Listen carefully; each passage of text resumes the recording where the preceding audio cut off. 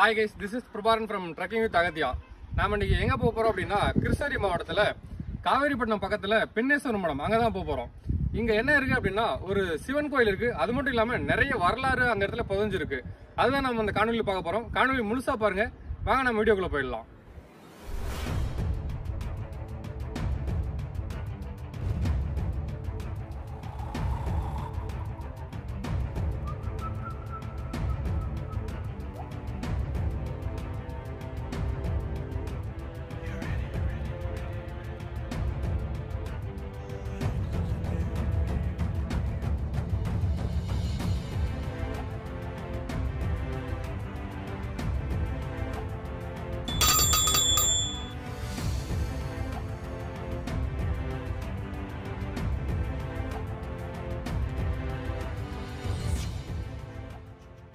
இந்த ஊருக்கு பெண்ணேஸ்வர மடம் அப்படின்னு ஏன் பெயர் வந்துச்சு அப்படின்னா இந்த கோவிலானது தென்பனை ஆற்றின் மேற்கு புறம் இருக்கிறதுனாலையும் இந்த கோவில் இருக்கிற சிவன் பனைமரத்துக்கு அடியில் சுயம்புவா தோன்றதுனாலையும் இந்த ஊருடைய சுற்று வட்டாரத்தில் ஏதாச்சும் போர் நடக்கும்போது அரசர்கள் வந்து இந்த இடத்துல தங்கி போனதுனாலையும் இந்த இடத்துக்கு வந்து பெண்ணேஸ்வர மடம் அப்படின்னு வந்து பெயர் வந்திருக்கு.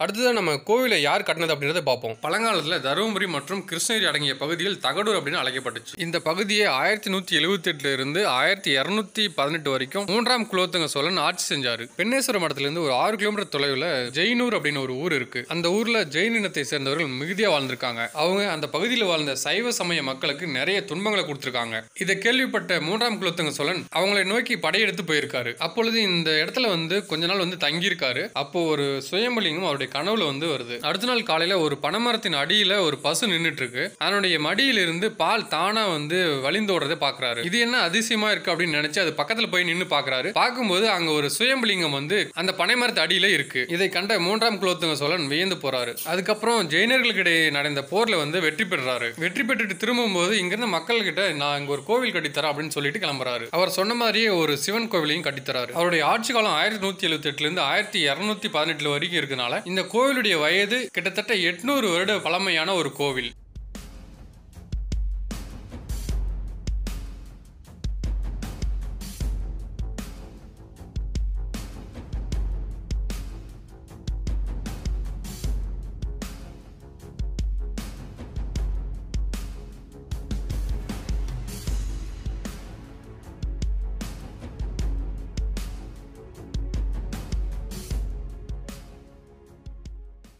இந்த கோவிலில் சிறப்பு என்ன அப்படின்னா மாசி மக நட்சத்திர அன்னைக்கு இந்த சந்து வழியாக வர சூரிய வெளிச்சம் இந்த சந்து வழியாக போயிட்டு இங்கே நந்தி இருக்கும். இந்த நந்தியுடைய கொம்பு வழியாக ஸ்ட்ரெயிட்டாக போயிட்டு இங்கே இருக்க ம- மூலவருடைய நெத்தியில படும். இது வந்து ரொம்ப சிறப்பு அப்படின்னு சொல்கிறாங்க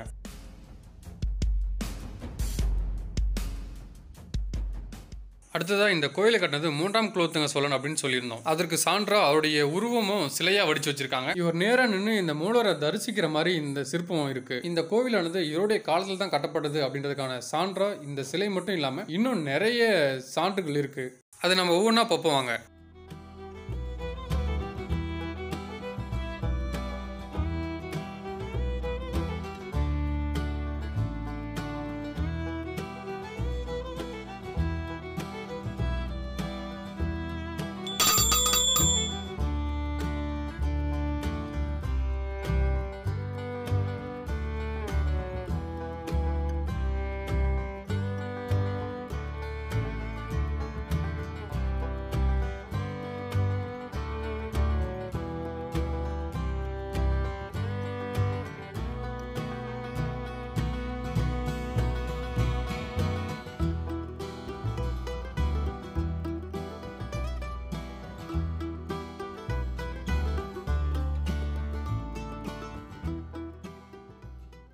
தமிழ்நாட்டில் நிறைய பகுதிகளில் சோழர்கள் ஆட்சி செஞ்சாலும் இந்த கோவிலில் மட்டும்தான் சோழர்களின் சின்னமான புலியும் செங்கோலும் கல்வெட்டில் இருக்குது அப்படின்னு சொல்கிறாங்க நம்ம அதுதான் இப்போ பார்த்துட்ருக்கோம்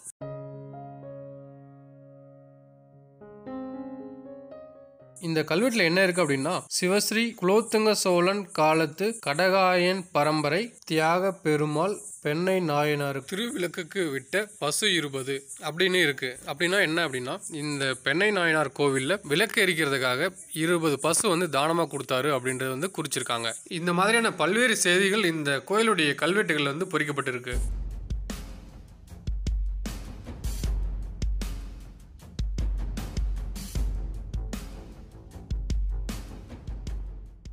அடுத்ததான் இந்த இடத்துல ஒரு தகவல் இருக்கு. அது என்ன அப்படின்னா போச்சம்பள்ளி பக்கத்துல தளிப்பட்டி அப்படின்னு ஒரு ஊர் இருக்கு. அந்த ஊர்ல இருக்கிற மக்களுக்கு நிலம் தானமா வழங்கப்பட்டு இருக்கு அந்த ஊர் மக்கள் அந்த நிலத்துல விளையிற பண்டங்களை வச்சு இந்த கோவிலுக்கு தளிகை கொடுக்கணும். தளிகை அப்படின்னா என்னன்னா கோயிலில் கொடுக்குற பிரசாதம் அல்லது அன்னதானம் கூட சொல்லலாம். அப்படி யாராச்சும் தளிகை கொடுக்க தவறிட்டாங்க அப்படின்னா அவங்க ஒரு காளை மட்டை கொண்டதுக்கு சமம் அப்படின்னு சொல்றாங்க.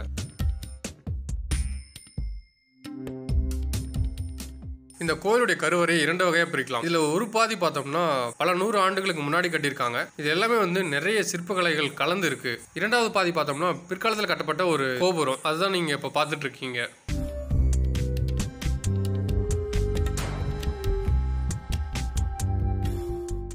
அடுத்து நம்ம பார்க்குறது சப்தமார்களுடைய சிலைகள் வந்து இங்கே இருக்குது அது மட்டும் இல்லாமல் இங்கே விநாயகருடைய சிற்பமும் வந்து இருக்குது இந்த கோவிலில் சீதை ராமர் லட்சுமணுக்கு தனியாக ஒரு சிலையும் வச்சுருக்காங்க. இந்த மாதிரி ஒரு சிவன் கோவிலில் இவங்களுக்கும் சிலை வச்சுருக்கிறது ரொம்ப அரிது.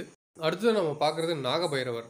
நம்ம நிறைய இடத்துல காலபைரவர் கபால பைரவர்லாம் பார்த்துருப்போம். இந்த கோவிலில் இருக்கிறது நாகபைரவர். இவரை வழிபடும் போது நமக்கு நாகதோஷம் இருந்தாலும் அதை நீங்கிடும் அப்படின்றது வந்து ஒரு நம்பிக்கையா இருக்கு. அடுத்ததாக பதிமூணாம் நூற்றாண்டில் ஆட்சி செஞ்ச வீரராமநாதன் அப்படின்ற ஒரு ஒய்சால மன்னர். அவருடைய காலத்துல இந்த பெண்ணேஸ்வரம் மற்றும் அதனுடைய சுற்று வட்டார பகுதிகளில் யாராச்சும் பிச்சை எடுத்தா அவங்களுடைய தலை வெட்டப்படும். இந்த மாதிரி பிச்சை எடுக்கிறாங்க அப்படின்னு அதிகாரிகள் சொல்ல மறைச்சிட்டாலும் அவங்களுக்கும் தண்டனை வழங்கப்படும் அப்படின்ட்டு வந்து சொல்லியிருக்காங்க. அடுத்தது நம்ம கோயிலை விட்டு வெளியே வரும்போது நிறைய நவகண்ட சிற்பங்களை பார்த்தோம். இந்த நவகண்ட சிற்பங்கள் என்ன அப்படின்னா ஒரு அரசன் எதிரி நாட்டு அரசனிடம் போரிடும்போது அவரை வெற்றி பெற முடியாது அப்படின்ற ஒரு நிலைமை வரும்போது யாராச்சும் ஒருத்தர் தன்னுடைய கை கால் சதை அந்த மாதிரி வந்து ஒன்பது பாகங்களாக வெட்டிட்டு தன்னையே தெய்வத்துக்கு பலி கொடுக்கறது தான் நவகண்டம்னு சொல்கிறாங்க அது மட்டும் இல்லாமல் ஒரு சில நேரங்களில் அரசன் நோய்வாய்ப்பட்டு இருக்கும்போது அவர் வந்து உடல் தேறி ந நல்ல நிலைக்கு வரணும் அப்படின்றதுக்காக கூட இந்த மாதிரி நவகண்ட பலி கொடுத்துருக்காங்க. இந்த நவகண்ட பலி எல்லாமே கொற்றவை அப்படின்ற பெண் தெய்வத்தை நோக்கி தான் வந்து நவ நவகண்ட பலி கொடுத்துருக்காங்க. இந்த நவகண்ட பலி கொடுக்குற பழக்கமானது பதினோராம் நூற்றாண்டுலேருந்து பதிமூணாம் நூற்றாண்டுகளில் நிறையவே இருந்திருக்கு.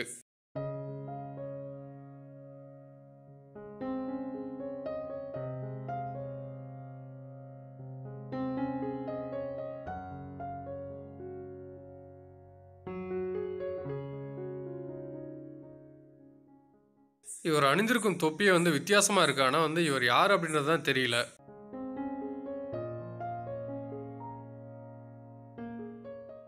அடுத்ததாக கோயில் நுழைவாயிலுடைய இடதுபுறம் போய் பார்க்கும்போது இரண்டு நடுக்கற்கள் இருந்துச்சு. அதுல ஒன்று நவகண்ட சிற்பம் மற்றொரு நடுக்கல் இசை கலைஞருடைய நடுக்கல். இந்த இடத்துல போரின் போது அரசர்கள் நிறைய நாள் வந்து தங்கியிருந்தாங்க அப்படின்னு சொல்லியிருந்தோம். அவர்களுக்கு களைப்பு ஏற்படாமல் இருக்கிறதுக்காக இசை நடனம் போன்ற கலைகள் வந்து அரங்கேற்றிருப்பாங்க அப்படி வந்து இசைத்த இசைக்கலைஞர் ஒருத்தர் இறந்து போயிருக்கலாம். அவருக்காக எடுக்கப்பட்ட நடுக்கல் தான் இது. அவருடைய கையில வீணை வச்சிருக்காரு பாருங்க.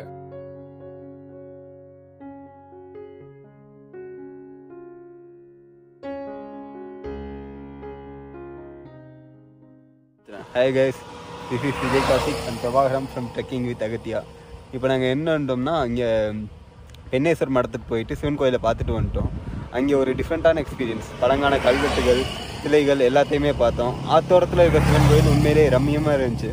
நீங்கள் ஒரு நாள் கண்டிப்பாக கண்டிப்பாக விசிட் பண்ணணும். ரொம்ப ஒரு என்ன சொல்ற ஸ்பிரிச்சுவல் ஃபீலிங் மட்டும் இல்லாமல் ஒரு என்ஜாயபிள் மூமெண்ட்டாக இருந்துச்சு ரெண்டு பேருக்குமே.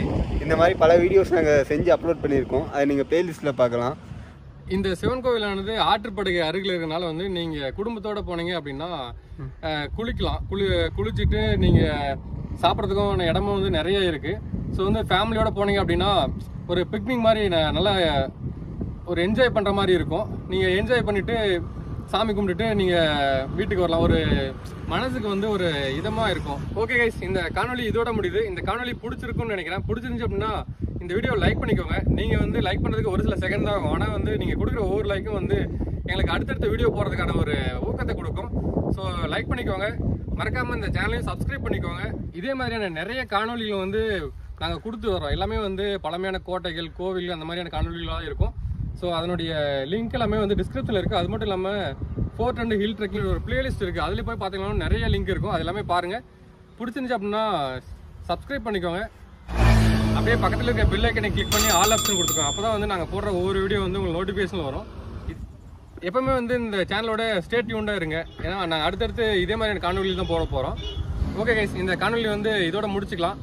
இதே மாதிரியான அடுத்த ஒரு இன்ட்ரெஸ்டிங்கான ஒரு காணொலியோடு நாங்கள் சந்திக்கிறோம். அது வரைக்கும் உங்களிருந்து விடைபெறுவது பிரபாகரன் மற்றும் கேமராமேன் விஜய் கார்த்திக்.